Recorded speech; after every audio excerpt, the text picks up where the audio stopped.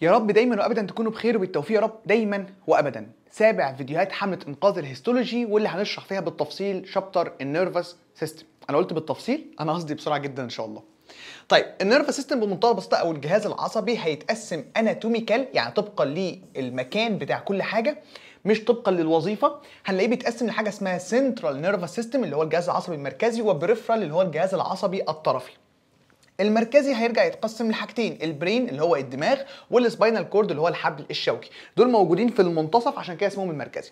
طب وال peripheral بيتقسم بعد كده لحاجة اسمها peripheral nerves اللي هي الأعصاب الطرفية واللي هي عبارة عن كده كده أعصاب بتطلع من ال spinal cord اسمها spinal nerve وأعصاب بتطلع من ال brain اسمها ال cranial nerves يعني بمنتهى البساطة في عندي فرعين أو شقين من الجهاز العصبي الطرفي شق منهم عبارة عن copy paste من ال central nervous وجزء تاني اسمه العقد العصبية. أو بنسميها محطات البنزين. محطات البنزين دي تقسم برضو لحاجتين يا إما spinal يا إما autonomic spinal دي يا دكتور جاية من ال spinal cord حقيقي. وتبقى محطة بنزين لل spinal nerve يبقى ال spinal nerve اللي هو العصب اللي طالع من ال spinal cord طالع من الحبل الشوكي يفضل يمشي يمشي يلاقي محطة بنزين فسميناها باسمه فسميناها spinal ganglia إنما ال autonomic ganglia دي جت منين يا دكتور؟ كلمة autonomic معناها لا إرادي.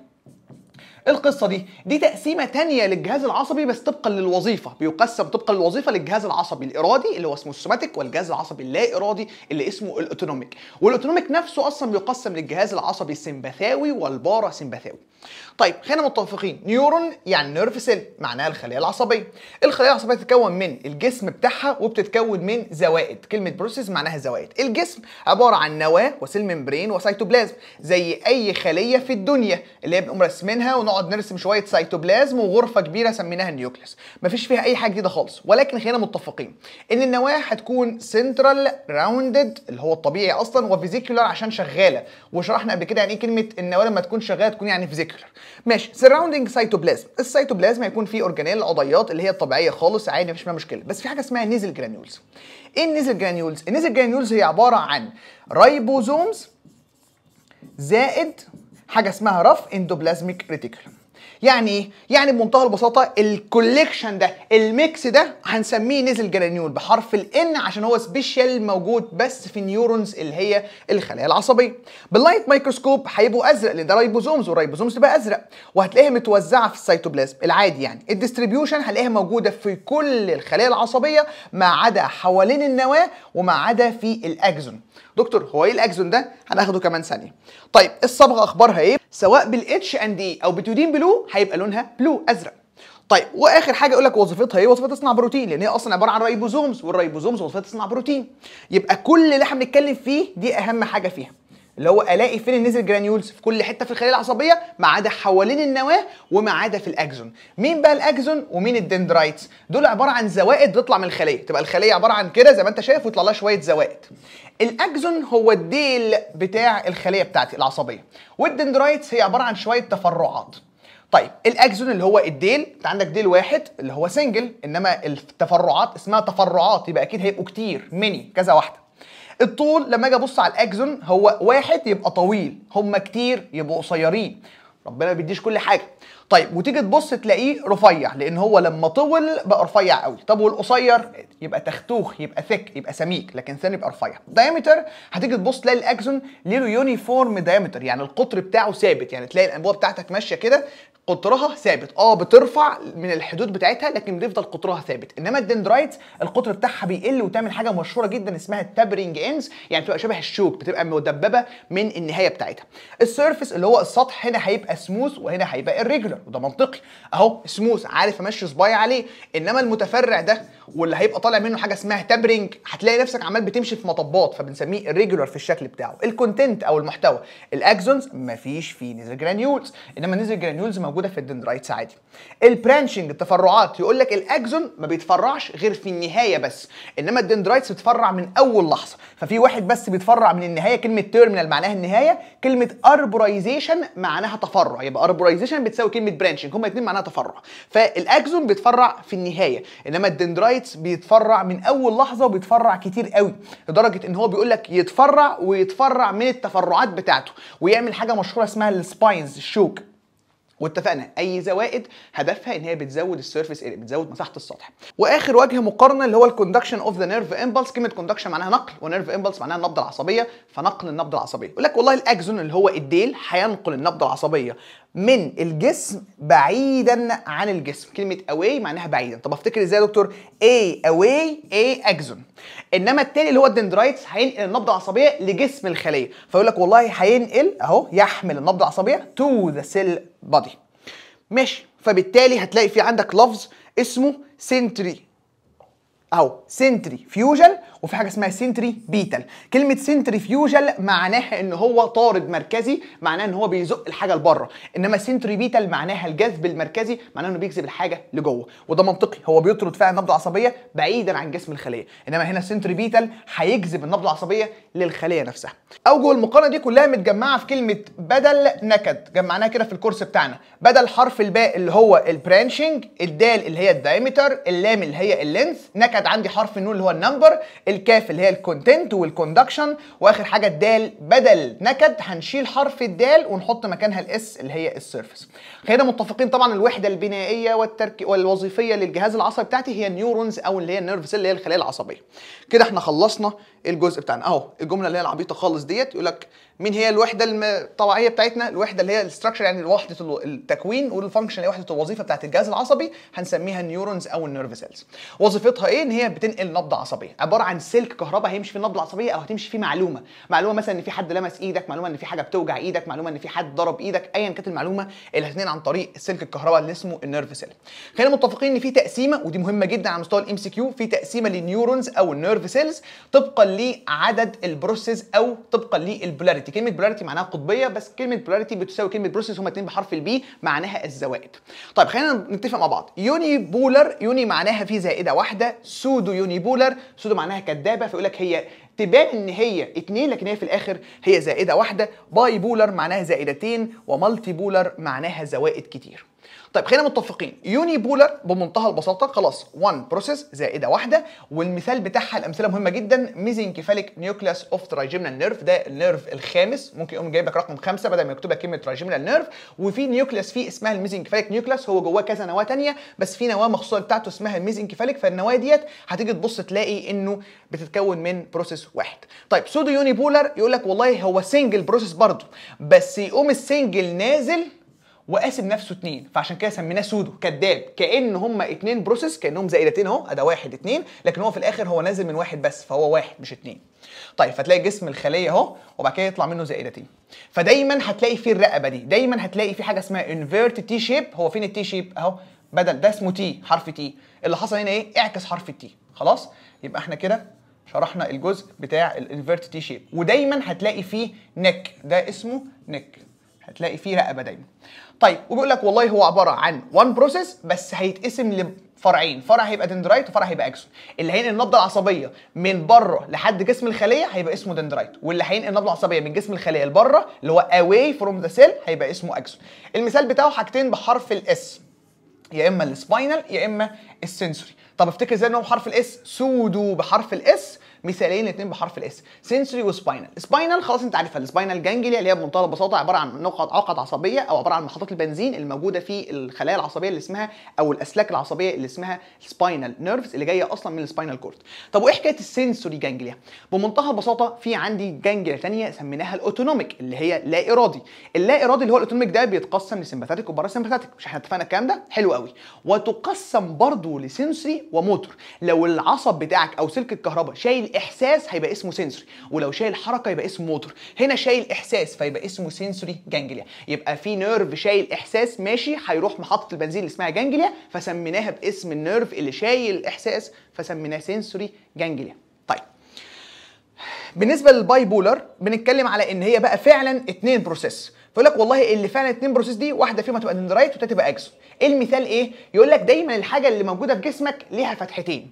ال retina يعني العين فالعين أنت عندك عينين أهو. أو مناخيرك لأن مناخيرك فيها فتحتين.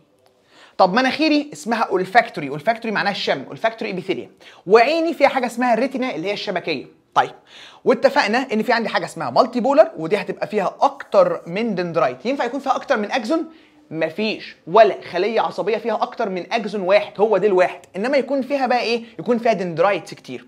فلك بمنتهى البساطة المثال بتاعها هو ال sympathetic ganglia اللي هو الجهاز السمبثاوي هيطلع منه شوية أعصاب هتستريح في محطة بنزين يبقى سميناها sympathetic ganglia طب خلينا نتكلم على شكل الخلايا. يقول لك والله شكل الخلايا في أول حالتين اللي هو عبارة عن process واحد أو زائدة واحدة هتكون الخلية مدورة.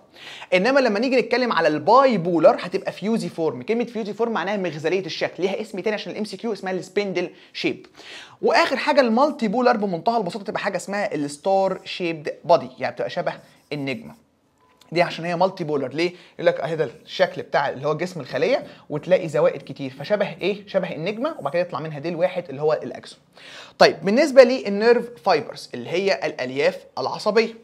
الألياف العصبية هي عبارة عن مجموعة من ال axons يعني عندي في كذا خلية عصبية هيطلع منها كذا axon جمع ال axons ديت هتطلع لك حاجة اسمها ال nerve fiber اللي هو الألياف العصبية. هيقول لك بتتكون من إيه؟ زيها زي كل خلية عندي بتتكون من cell membrane اسمه axolemma بتتكون من سيتوبلازم اسمه axoplasm ومفيش فيها Nissl granules ليه؟ ما هي بتتكون من axons وأنت فاهم ال axons مفيش فيها Nissl granules ولا حتى في Nissl granules حوالين ال nucleus وفي النهاية يقول لك والله هي ممكن تكون قالعة وممكن تكون لابسه قالعة يعني naked لابسه تبقى ensheathed واللبس بتاعها ممكن يكون myelin sheath وممكن يكون neurolemma وممكن يكون الاثنين مع بعض.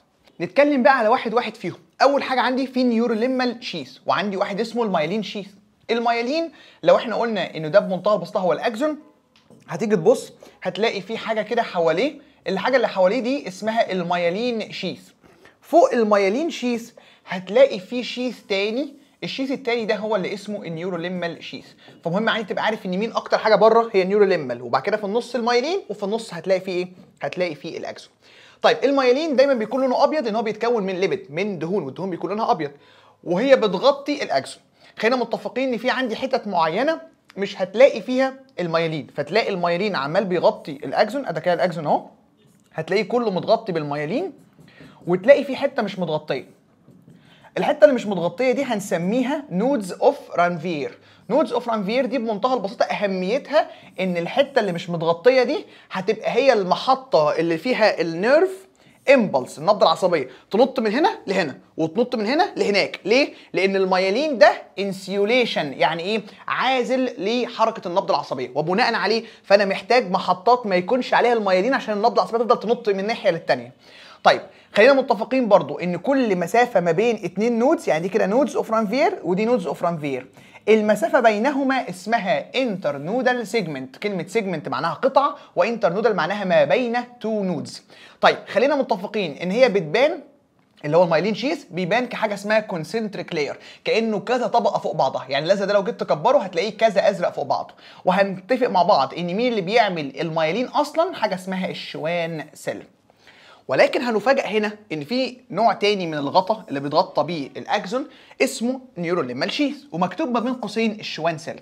يقول لك والله ال Schwann cell بتعمل ال myelin sheath تفضل تلف تلف تلف فتعمل حاجة اسمها concentric معناها كثير الطبقات شبه البصلة كده فيفضل يلف يلف يلف يعمل myelin sheath وتيجي بعد كده ال Schwann cell تقعد هنا.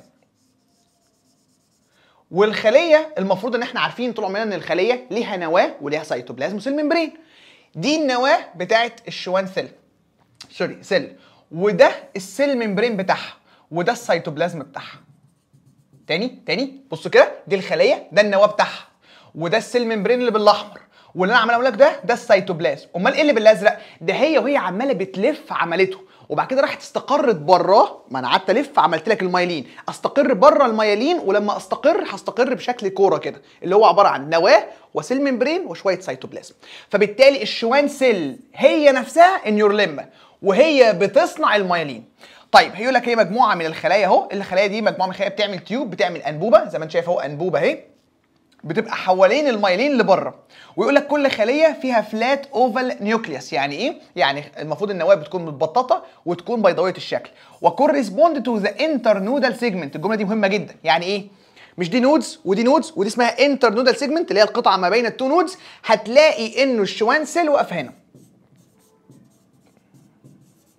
طب وهنا؟ مفيش Schwann cell يبقى أنا عندي الحتة اللي مش متغطية بالمايلين مش متغطية بال neurolemma يبقى ال nodes of Ranvier مش متغطية بأي حاجة حتة عريانة مش متغطية بأي حاجة.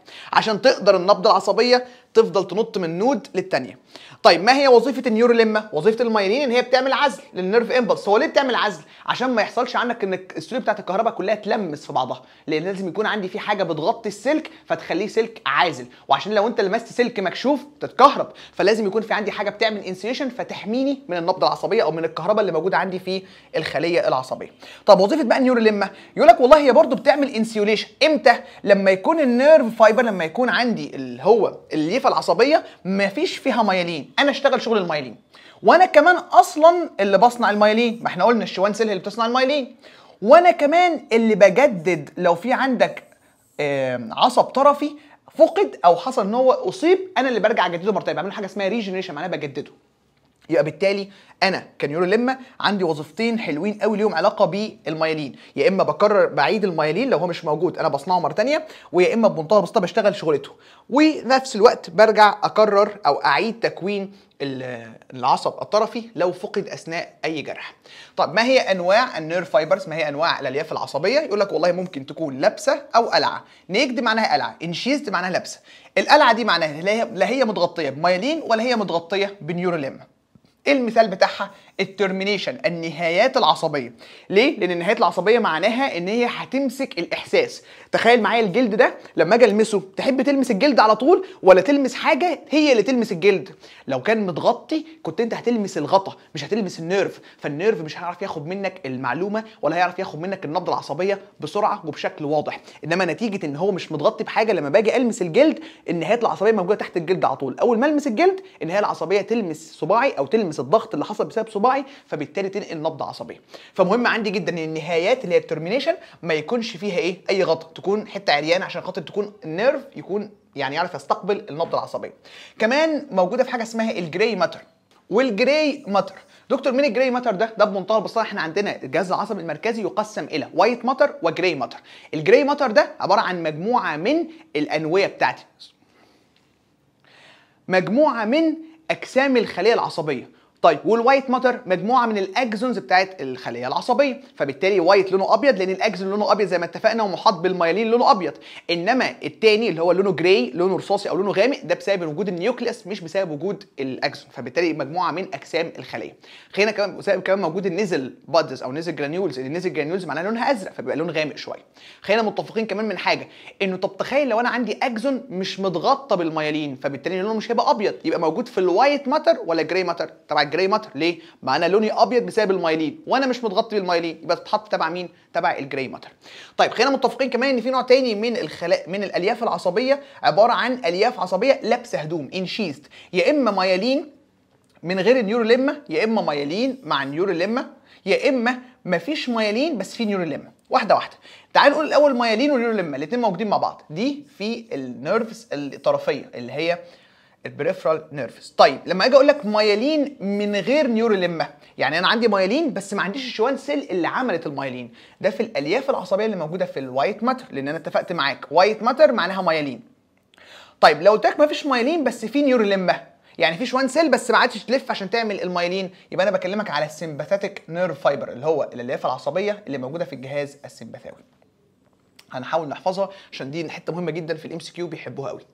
لو جينا نتكلم على مستوى حاجة اسمها ال nerve trunk ال nerve trunk ده عبارة عن مجموعة من الألياف العصبية. فيقول لك والله هي مجموعة من الألياف العصبية هيت بتتجمع في bundles كلمة bundles معناها حزم.